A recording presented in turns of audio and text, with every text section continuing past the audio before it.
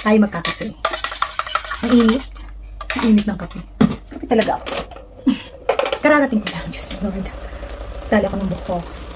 Peanut butter. Bagong bukas. At yung tinapay ko. Siyempre nakain ko na kahapon yung isa. With, with uh, anong tag dito? Yung milky na flavored uh, pistachio. Ngayon, ito naman tayo. Luluma na naman itong tinapay na ito. Mamaya matigas na naman.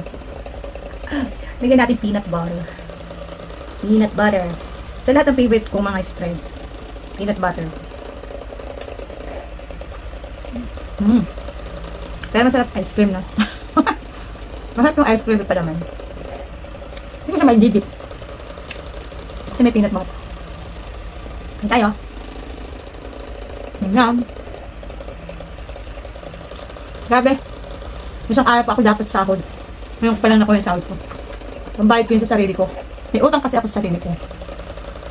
Kakautang din ba kayo sa sarili nyo? Hmm. First, inutang ko yun sa sarili ko nung nakaraang pinulala ko. Kasi na-hospital si mother ko. Ngayon, may friend ko, babayad ko sa sarili ko. O, diba? Ganun yun.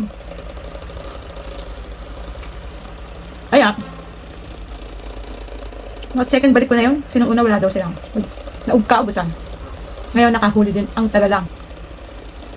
Ang niligaling ng mga hudyo. Ang gulo doon. Gulong gulo. Buti na lang. Kunti na kami Pinoy na kukuha ng sahod.